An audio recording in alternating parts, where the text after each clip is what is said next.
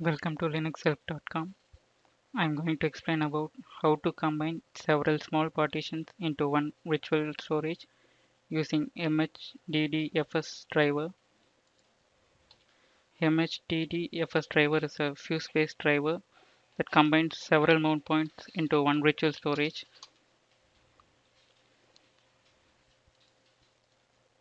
Before installing the MHDDFS driver, we need to install the EPEL repository. The command is yum install EPEL release. Now we need to install some dependency packages to install the MHDDFS driver. The first dependency package is fuse devel. The command is yum install fuse devel. The next dependency package is gcc yum install gcc space gcc hyphen c plus plus. The next package is glibc devel yum install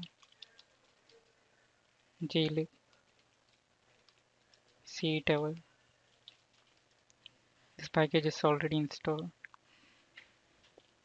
the next dependency package is ut hash devel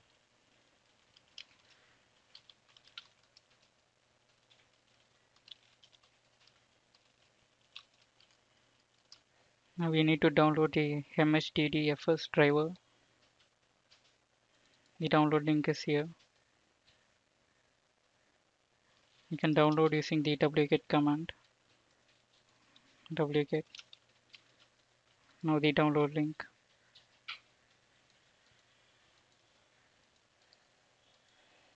Now the driver package is downloaded.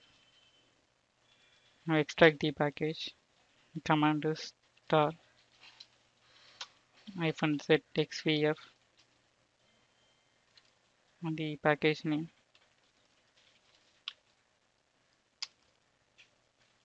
the package is extracted now move to the directory mhddfs-0.1 now to install the mhddfs driver with the command make press enter the driver is installed. Now we need to copy the now we need to copy the mhddfs to the user bin directory. Cp mhddfs space user bin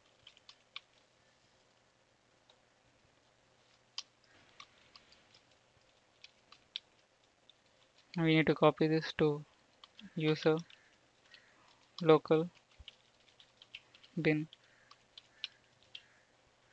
My file is copied. Now I am going to list all the mounted partitions command is df-h I am going to combine the mount point slash slash new slash test into a virtual storage. First you need to create the mount point for the virtual storage mkdir slash mnt slash virtual underscore storage. To mount the virtual storage and by combining the smaller partitions use the following command. Mhdd fs now the partitions slash new comma slash comma slash test. These are the partitions I'm going to combine. You can add several partition to it. Space the virtual storage mount point slash mnt virtual storage. Space hyphen o space allow other. The allow other option is used to make the virtual storage visible to other users. Now run the command. Now the smaller partitions are added to the virtual storage. Now we can view the mounted partitions df-h. Now we can see the virtual storage added to the partition. To make the virtual storage mount permanent, you need to add an entry to the etc fstab file. Vim.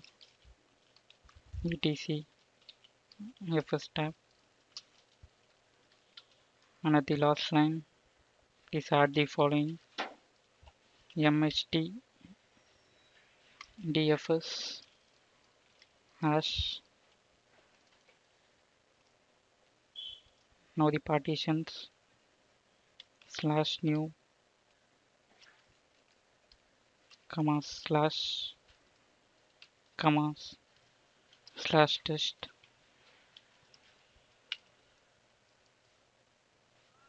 Now the virtual storage mount point.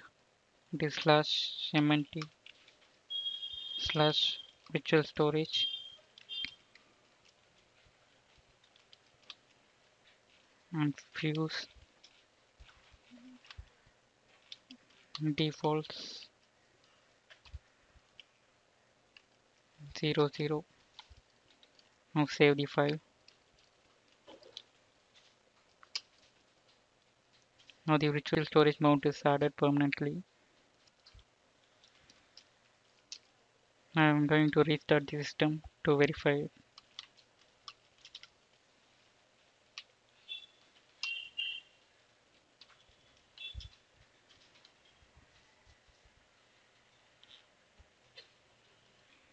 We can check the mounted partitions. Df-h